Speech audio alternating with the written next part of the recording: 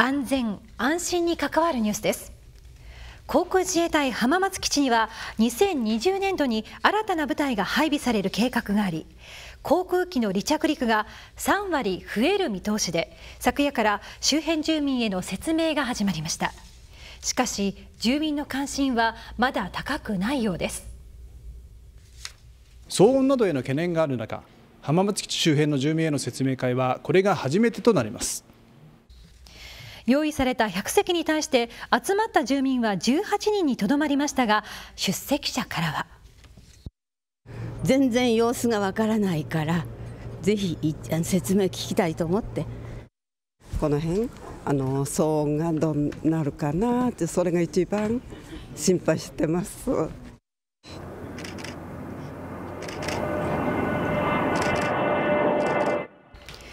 これが新たに配備される T400 の音です。浜松基地に2020年度に移転が計画されているのは輸送機などのパイロットの訓練をする練習機 T400 およそ10機と整備員などを含め百数十員の隊員で鳥取県の美保基地から移ってきます。先月のデモフライトでは騒音のレベルは浜松基地で現在使われている練習機に比べ低い値でした。しかし T400 が配備されると浜松基地の航空機の離着率は3割ほど増えて月の平均で2700回ほどになる見込みです。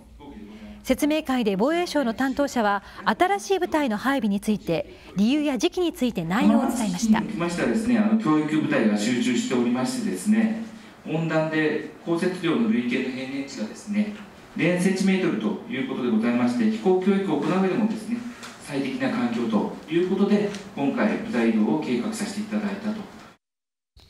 説明を聞いた住民からは騒音のほか安全面に関する意見も出ていました。